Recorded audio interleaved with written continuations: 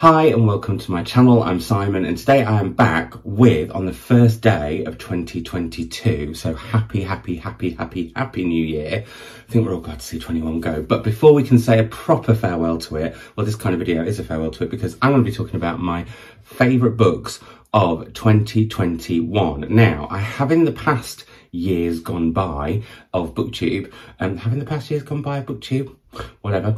Um the last few years of booktube kind of done several videos but i decided no i was going to be really really tough with myself and i have 15 favorite books and i have five honorable mentions which i don't normally love. I think it's a bit of a booby prize thing but nothing wrong with a booby prize actually. They can often be quite good fun.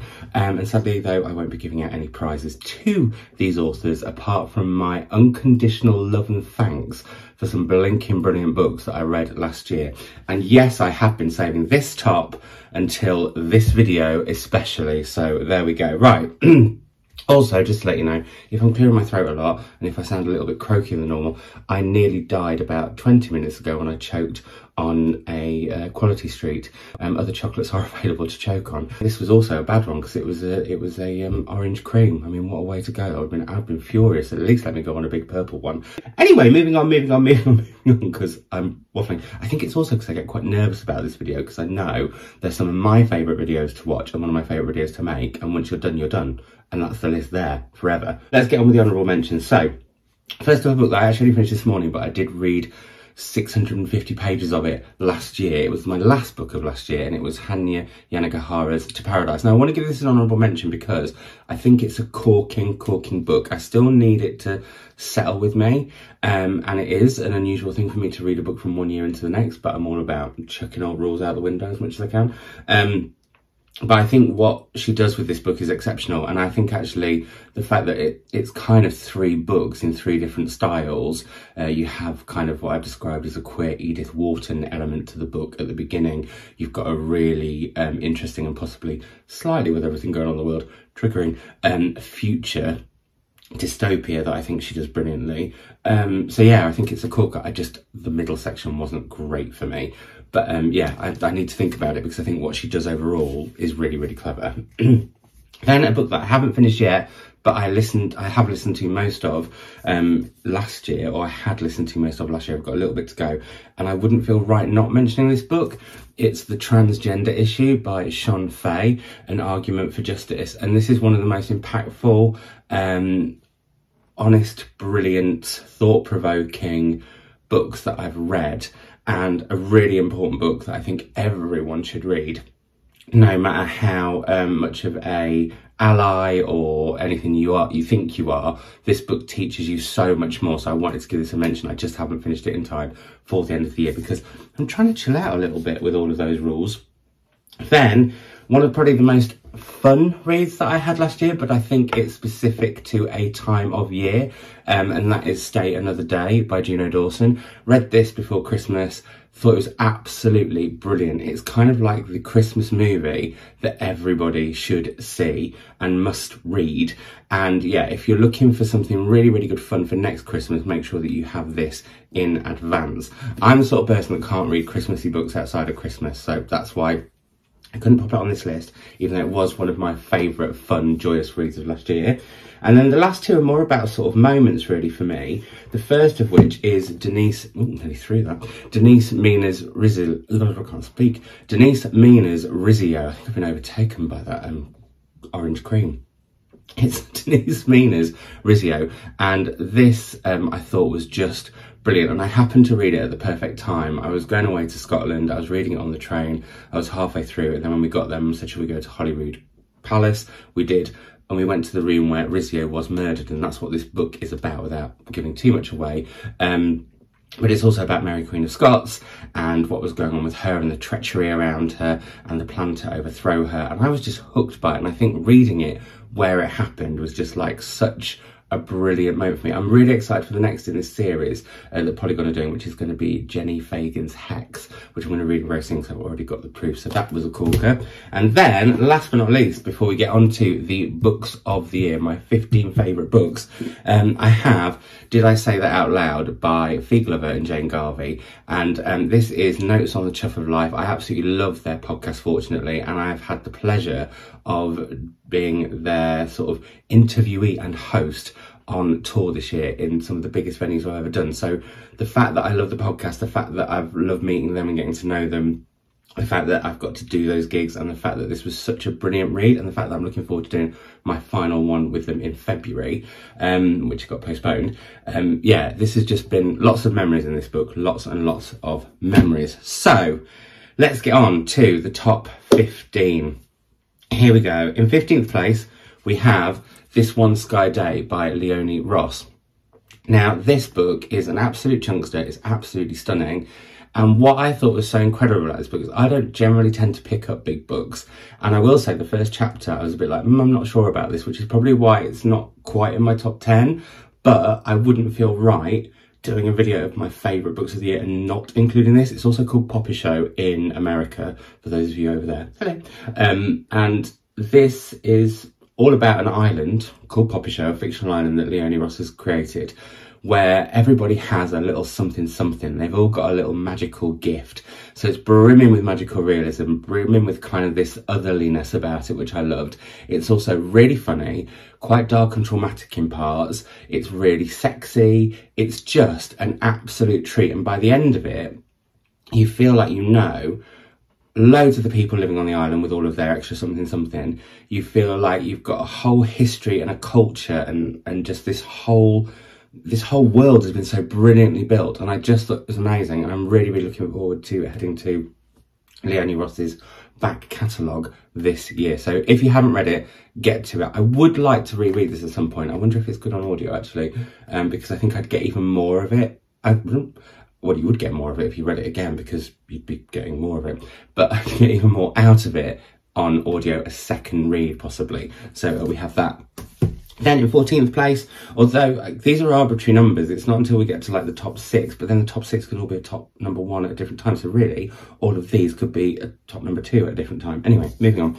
Um, we have at four, in 14th place, Kiran Millwood Hargrave and Tom de Freston's Julia and the Shark. This book is stunning. Not only is it utterly, utterly, utterly beautiful like to read. I mean honestly from the start it's absolutely gorgeous. I'll show you that. It's got like tracing paper um, elements to it. So i don't know if you can see that because i'm using this new funky version of um, my um, phone.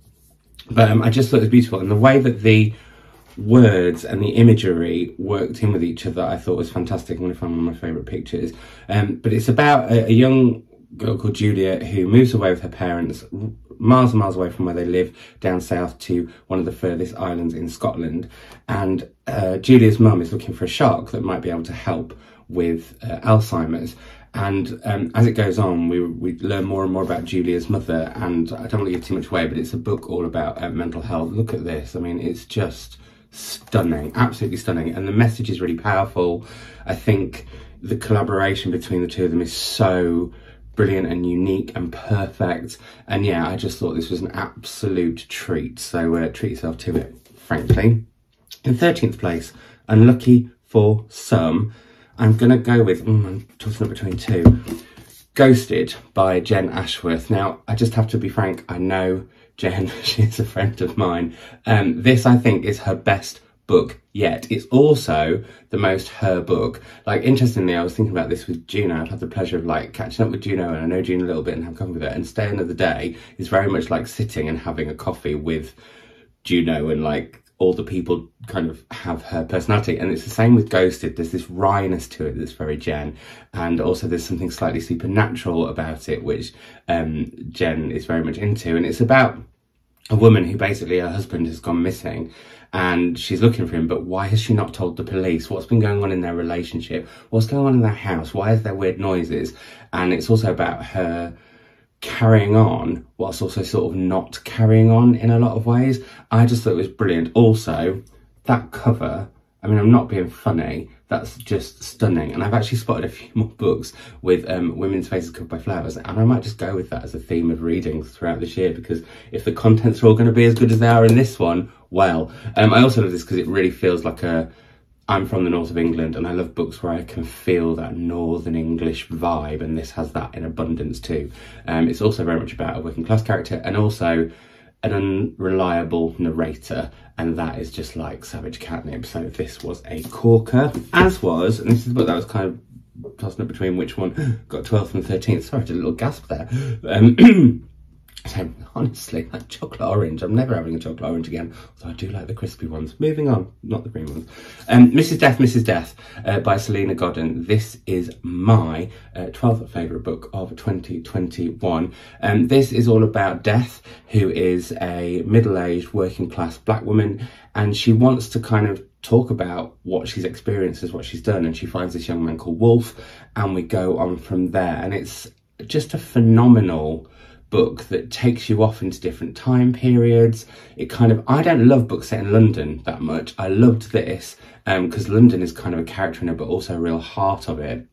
And sometimes I can find that off-putting. I lived in London. I think it's written about too much. This felt like a very different book in that aspect. And also just the way that Salena Godden looks at death and how it celebrates life in a lot of ways. Um, this is kind of, I would say, a perfect book for now when we're still in a pandemic. Um, but we're sort of processing it all and the grief and the shock. And I think this book looks at those things in really, really, really impressive ways. So an absolute treat of a book. Then for something really short and sharp. Or do I want to move these around? No, I think this is right. See, honestly, they could move around at any given time.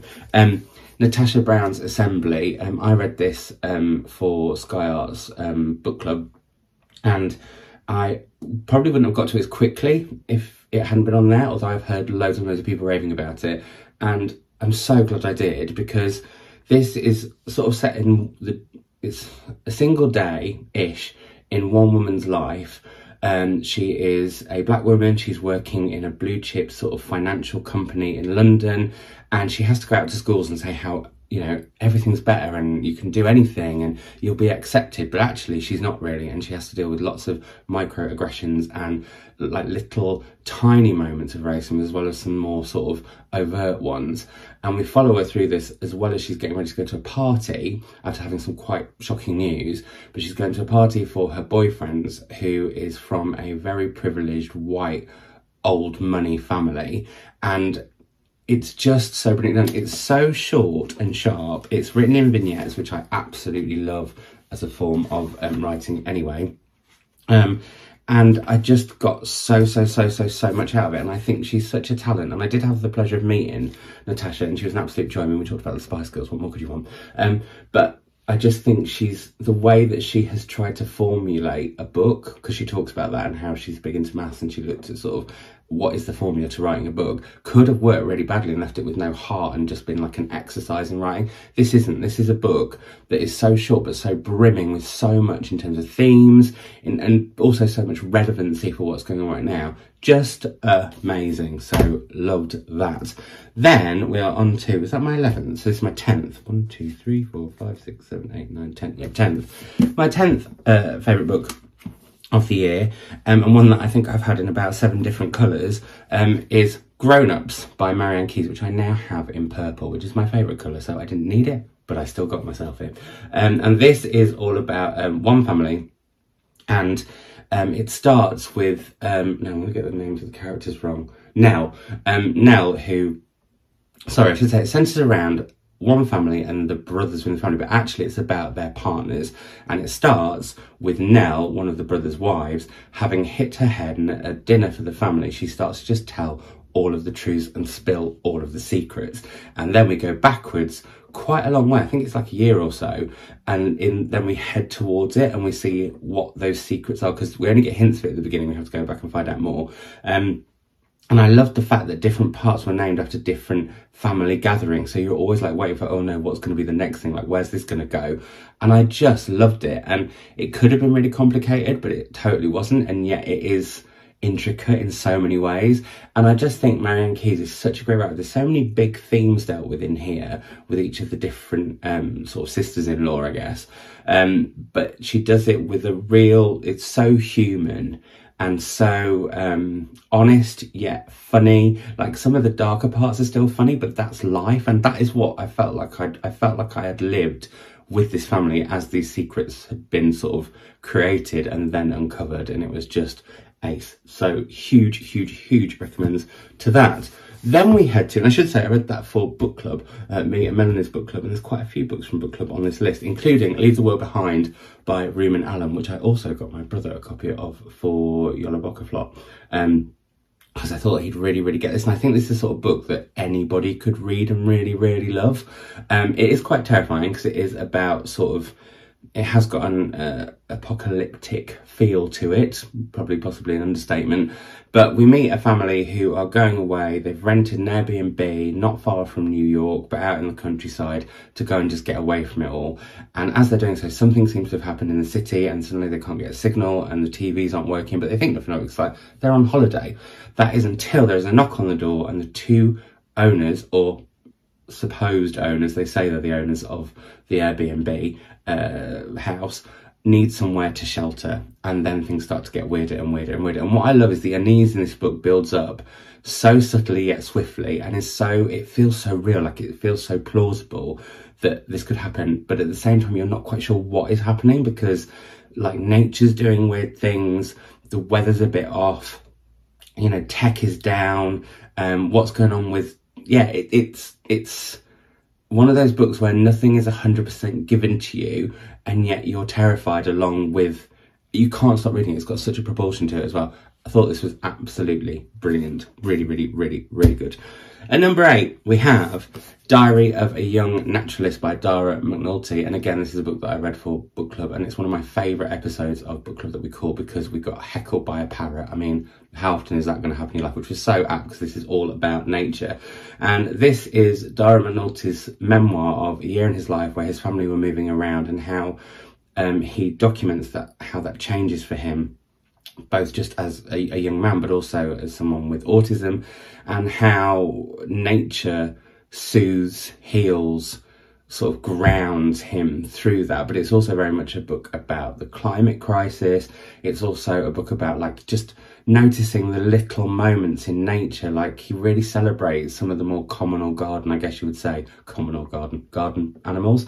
And I loved that about it yes, there are sort of some of the more, um, you know, some of the raptors and, and various other elements of the sort, sort of more extreme parts of nature that we have in, in the UK and, and Northern Ireland. But also it is all about those little moments and like there's little moments where he talks about how moss is like a forest for all these small bits and like, oh it's just so beautiful and also gave me a lot of hope in the youth of the future so I thought that was incredible. Also had the pleasure of seeing an adaptation of that. Um, uh, what do they call it? It wasn't, it was a concert. I want to say symposium, but that's not the right word. Symphony? No, it wasn't a symphony, it was something else. Anyway, it was brilliant. I got to meet Dara and he was a treat. Um, a book that I read whilst in the middle of nature. And I think actually sometimes the feelings around these are kind of what pushes them to the fore. Like I think where you are when you read things can really, really matter. And I read this in um, a place that I discovered last year called Rhiw Goch in Wales, where um, the lovely Mike and Preds have this incredible house that they inherited off um, another gay couple. And Mike's written a whole book about it called On the Red Hill, which is amazing. Um, and they do glamping. And we went and I read Summerwater while I was there, surrounded by the hills. And it did rain a bit. And this book is very much about um, a lot of people who have gone to these log cabins in, I feel like it's Scotland, um, and it's raining the whole time. And we get to sort of hop from each of them over a couple of days where we know something probably quite bad's going to happen because that's sort of what Sarah Moss is doing, but also the atmosphere and the tension build and build and build as we go. What I thought was phenomenal about this is often with a book, and I should say I also read The Fell by Sarah Moss, and that was amazing, but I think this just beats it a little bit for how deeply rooted in so many characters I got and how the tension just built and built and built, and I was just I literally couldn't put this down and it's it's very it's not a literary thriller yet it kind of is a literary thriller um, but also what it's saying about the world right now and what which the Fell does in terms of pandemic this is more i suppose around sort of the repercussions of brexit. Sorry to mention brexit and the pandemic twice in two mere minutes in a first video of a new year. Whoops. Um, but yeah, I just loved it. And it was all those moments where you thought, yeah, I know that. I've, I've been in that situation. Oh, I know what that person's thinking and how you get to see all the layers of their thoughts and their characters. And at the same time as this atmosphere broods and we know we're heading to something quite awful happening, we're kind of captivated by all of them yet slightly a distant and it's just a really deftly done piece of work so amazing now here i'm at a point where i think any of these six books could be my favourite book of the year on a different given day and also what has kind of surprised me is one how much non-fiction there is in the top six um, and also how queer it is um, because whilst being a member of the LGBTQIA plus community, I don't tend to read that much queer fiction or non-fiction at all. And yet this year, it has been what I have kind of revelled in most, I guess. Or revel's not quite the word because some of it is quite traumatic. Um, but yes, here they are. And I feel like I need to move them around again. Right, in sixth place, yeah, I'll move them a little bit. In sixth place, we have what It Feels Like for a Girl by Paris Lees. And um, again, a book that I read for Sky Arts Book Club. Possibly wouldn't have got to as soon if I hadn't listened to it on audio. It's Paris's memoir of their life growing up, taking us through the highs, the lows. It's a roller coaster of a rollicking read. Um, and it does kind of read like fiction, but Paris says that's what they wanted. They wanted it to be something that was kind of unputdownable. And it gives us so much insight into northern working class queer trans lives and from i think a way that we haven't read that much of i think with certain subject matters or certain um, parts of society there tends to be certain sorry gasping here um, there tends to be like specific voices that come to the fore and i don't think paris's has been heard enough or the likes of Paris's have been heard enough. And I hope this will mean that more Paris's get published, if that makes sense. Um, but I just thought this was brilliant. I was on the edge of my seat throughout loads of it. I was laughing like a drain throughout quite a lot of it. I was incredibly moved and upset by some of it and just thought it was utterly, utterly brilliant. And it's done in a Nottinghamshire dialect. Uh, my family are from Derbyshire, but my, well, I was brought up in Derbyshire, but my granddad's side of the family were all from Nottinghamshire. There's a there's a um, church in Nottinghamshire that has the most Savidges in sort of in graves. Wow, we're going on a right old journey with this book, aren't we? Um, so yeah, basically my roots are from there, and listening to Paris read it with the Nottinghamshire dialect was just an absolute treat. It's almost like poetry. Honestly, it's so brilliant. So please, please, please read this. And actually, yeah, like I said, any one of these could be number one. Then we have a book that hasn't had much discussion and I want everyone to go and read this who hasn't already. It's My Mess is a Bit of a Life by Georgia Pritchett and it says Adventures in Anxiety, which made me slightly anxious before reading it because I was thinking, oh, I get anxiety and is this book going to make me anxious? And it's something that I veer away from. It's one of the reasons that I don't read books about um, people who have, um, oh my goodness, what chronic illnesses, which I have myself. I have a chronic illness, less known one called Dercum's, and I tend to avoid books about chronic illness because I feel like it's going to make me really tense and anxious. And the same with anxiety, because my anxiety, when it turns up, is paranoid and it's horrific. Not at all in this case. This is very much about how Georgia has lived with anxiety throughout her life, but it looks at her life from pretty much birth and it's told in these wonderful vignettes. And um, I just, um, there's something about vignettes, I don't know what it is that I absolutely love. Um, and she, I just laughed like a drain.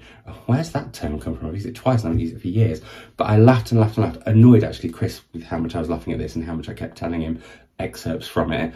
Um, but it just, it's the way, not only as George's life goes on, do lots of unexpected things happen as you read along. And I don't want to spoil it for anyone, but there's things around love and there's things around who we love and how that can be a real surprise. And there's some very moving and painful stuff on trying to have children and then what happens if you do have children.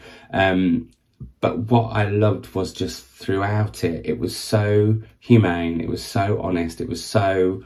I felt like a friend. I really want to be Georgia Pritchett's best mate, basically, because I felt like a friend was telling me their life story, like over snippets over se- several different coffees. Although, again, I was in Rhiw Goch in the middle of nowhere in the Welsh countryside. Um, and yeah, it was just such a joy, just a joy, even though there are some very difficult parts. Um, Georgia Pritchett is a, a writer. Um, she wrote for Miranda, which is a show I loved. She writes for Succession, um, and she talks about how difficult it's been to be a woman in that industry. But she also talks about how she's seen people have it much worse, for example, people of colour in the industry, um, but also just the highs and lows of life and the pitfalls that we go through. Honestly, I could talk about this book for hours. I just think it is amazing. So please please read it if you haven't. Then in fourth place, but like I said, these could all be number one at different points, we have Dear Senthuran, um, a Black Spirit memoir by Akwaeke Emezi. This book um, absolutely just blew my mind. Um, it reminded me a bit in a way of the effect that Argonauts by Maggie Nelson had, where I said like it's like the author takes the top of your head off, pours loads of ideas and thoughts and it just pops to the top of your head back on, shakes it and say, go away and have a good think about that. And that's what Akwaeke Emezi does, particularly around gender. Um, so Akwaeke Emezi um, was one of the first uh, trans people to be on the Women's Prize um, long list, and that caused a huge amount of debate. But actually, they don't believe they are a transgender at all. They believe they are a black spirit, and that's what this looks at through letters to various different people in their lives when they've done things that have been because of this, and what that is in your brain when you're when there's nobody there's no there's no one to see who is like you and how othered you can feel and especially how othered you can feel by other people who are saying they're othered. Um, and it's just phenomenal. Uh, yeah i can't recommend it enough. I mean trigger warnings with this one it does look at suicide it looks at body dysmorphia um, and it's very frank on those subjects but i just think it's such an important book and A Akwaeke Emezi has become one of my all-time favourite authors. I'm so thrilled I have three of their books to look forward to this year because just amazing. Then in third place, and this might shock some people, um, we have The Prophets by Robert Jones Jr. And this is out in paperback very soon in the same pink edition. I got this from Australia because I wanted it so much. Um, Anyway, I, I, talked about this a lot. I dedicated a whole video to it at the beginning of the year. Um, this book is about two men on a plantation who fall in love before homosexuality had a label. Um, and it's how people react to them. And um, some people are great about it, some people are not so good. There's hypocrisy and some of that. But also, it's about slavery and it's about the history of how slaves ended up where they are. There's this you go back um, to uh, part of um, Africa's past, um, which I thought was brilliantly done. And also, there's this amazing voice of kind of um, a choral voice throughout it, which I really, really loved too. Um, it just had me spellbound. I thought the writing was incredible. And I think as well with this book, it felt like all not all of them, but like it felt like a huge amount of voices who never got to tell their stories and never will do it felt like Robert Jones Jr. was channeling those people, and that just I think makes it for such an incredibly emotional read. This book should have been on all the Blinking Prize longlist and shortlist. I'm really miffed off actually that it is it hasn't been. I think it's been hugely overlooked by prizes, and that's rude. But it gets a special prize from me because I just think it is one of the most incredible books. If you haven't read this, you must. The end penultimately at number two we have a book that i read in one sitting. I didn't know what to expect from it um, and i just fell in love with it. And i'm annoyed myself because i haven't read uh, the author's other book that came out this year but i've got something to look forward to in 2022 that means. Uh, this is in the end it was all about love by musa okwonga and i just this book is just so incredible and it's it's a book that sort of doesn't sit in a genre, which is something I want to read a lot more of. So if you've got any recommendations of books that are sort of autofictionist sort of memoir, they might not be, but they also try lots of different things. There's poetry in here, there's sort of a memoir element, there's, yeah. I, and also vignettes. I mean, I'm all about the vignettes. Then let me know in the comments down below. But um, this book is all about a black man who moves to Berlin. Um, he's bisexual. He moves when he's 40 and he starts a whole new life there and it's how he goes about that, how that goes well, how it doesn't go well, what he's really looking for, and that is just find his his place. But at the same time, we also learn that his father died at forty, so he's now reached the age that his father, um, well, the age that when his father died, and so there's a whole lot around what that does mentally for him. And and it's weird actually because my first stepdad died when he was 29 i think. And i remember thinking about that a lot of the time that i'd lived and i still think about it now. Like i have lived him by a long time and it does really mess with you. Um so i think that's another area that i really this really really resonated with me. And by the end of it i just fell in love with musa okwonga because i mentioned that it's a book that it it sort of doesn't it's genre defying the fact that it's sort of memoir it's sort of fiction because when you learn about um, Musa this is very much his experience and I wondered if like there's something about fictionalizing it that both at once keeps you I suppose distant from the author but also fiction can really, really make you relate. So that's just something that I found interesting reading it. But yeah, um, I thought this was amazing. And if you haven't read it yet, do. It's from Rough Trade Books, which is a um, small press. I want to read a lot more small presses this year um, because if they're churning out books like these that other big publishers aren't, then that's where I want to be at. That said though, my final book of the year, my number one spot is from a big publisher um, and it's from one of my favourite authors who I should also say I'm friends with and love dearly. Um, and again, I think this book has so much of their personality within it and the joy and hope and funny nature and just delight. Um, and this book is all of those things. And what I think made this book stand out for me in the last year was that it was so much joy and so much hope, and it was intended to be that. And I think sometimes we forget that with books. I think we can go into books and you know you learn a lot from this book, and it's all about um, found family, and it's all about um, acceptance and all those things. But I sometimes think we go into books where it's all about like, and I do it. I'm, I'm I'm well aware that I do it, uh, where we go into books that are difficult and tricky and we sort of almost like want to put ourselves through something uh, in order to feel that fiction's really work. Whereas this, you're just putting yourself through absolute delight. I mean, there are highs and lows with all the characters. What is the book, Simon? Just get on with it. You'd have probably guessed. It's Still Life by Sarah Winman. And I just think this is phenomenal. You'll probably know if you've been here for a long time. And if you're not, hello if you're new. Um, but you'll all, if you've been here a while, will know how much I love Tin Man. And I wasn't nervous about this book because I've loved every single book that Sarah's written. And actually, Sarah and I were saying, because we did an event together last year for Still Life, that um, the first ever book event I hosted was with Sarah. And it was 10 years ago last year. And there's just something quite lovely and delightful about that, which has not got nothing to do with the book, but I just thought I'd tell you that anyway.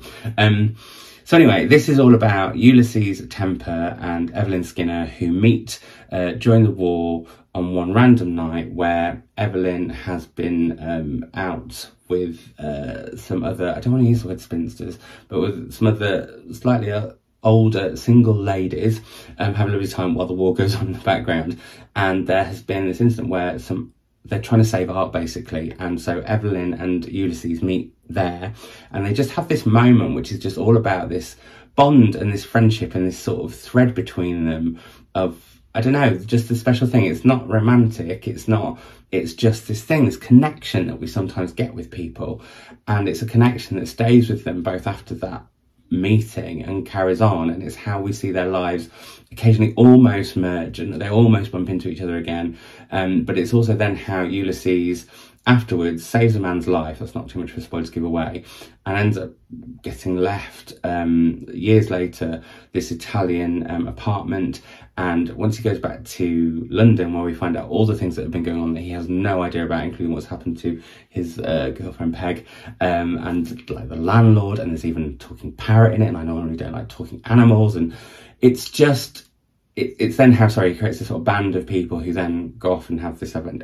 I can't give too much more away. I don't want to spoil it for anyone because part of the joy is just going along with them and having the best time. But I felt so much love and warmth and joy and happiness from this book. I also think Sarah Winman is a genius in the way that she can write a like paragraph, which will be a whole story. Like there's an incident of murder and disposing of a body, one paragraph, but I'll never forget it. Um, and it's just moments like that, that that are brimming inside this book, which really celebrates what it is to be human. It celebrates Europe and togetherness. It celebrates helping each other. It celebrates found family. It celebrates love in all its different forms. It's just celebratory. It's just joyous and it's just what I needed in 2021. And I think it's what we all need going forward into 2022. So there we go. Those are the books of 2021, my favourite books of 2021. I know it's a bit of a longer video than normal. I think I'll have done it as a premiere, so I'll be chatting away with you as you watch it. I'll be back tomorrow with a reading vlog going back all the way to this book. Oh, didn't prepare this very well, did I? No. Need to get more preparation in 2022. Uh, yeah, I've I've filmed uh, a week's worth of reading this book with my thoughts along the way. No spoilers, um, but just my thoughts as I went. And uh, yeah, that will be back tomorrow. And then I'm back on Tuesday with my 2021 intentions, both, well, not both, but for the channel, for reading, and also just for life over the next year. So I will see you all tomorrow and then and then on Thursday, and then yeah, I think I'm going to be Tuesdays, Thursdays, and Sundays this year after this video, or Sundays, Tuesdays, and Thursdays, and Sundays, and Tuesdays, and Thursdays um, this year. But let me know what your favourite books have been, and let me know what you've most enjoyed on my channel in the last year or last year. Um, and uh, yeah, I'm really looking forward to the adventures, the reading adventures that we're going to go on over the next coming 12 months. Don't know how to end this video, so I'll just say bye bye, happy new year, and I'll speak to you soon. Bye.